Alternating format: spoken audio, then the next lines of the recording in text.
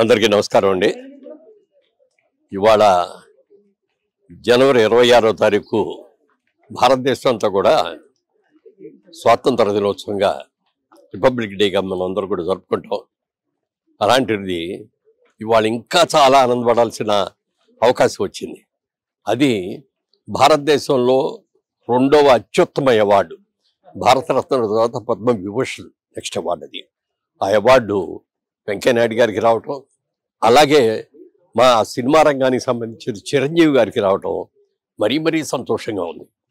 తెలుగులో అక్కడే నాగేశ్వరరావు గారికి వచ్చింది దూరకట్లో మళ్ళీ నాళ్ళకి చిరంజీవి గారికి రావటం ఎంత ఆనందంగా ఉందో చెప్పడానికి వెళ్ళాడు ఆయన ఇంకా ఇంకా పెద్ద అవార్డు కూడా సంపాదించుకోవాలి. అత్యుత్తమ అవార్డు కూడా ఎప్పటికైనా సాధిస్తారనే నమ్మకం ఉంది. డెఫినెట్గా రావాలని కూడా కోరుకుంటున్నాను. అందరికీ కూడా అభినందనలు తెలియజేస్తున్నాను. Thank you.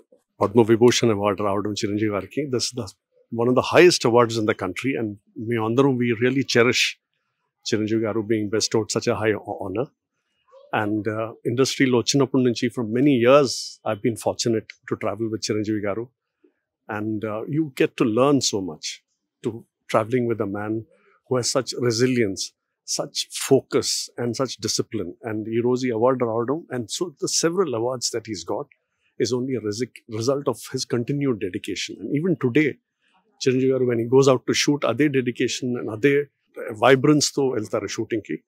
And the most beautiful aspect of his uh, personality is he includes all of us in his great journey. He gives, he makes sure that all of us get to participate in his journey. And we are so happy for him.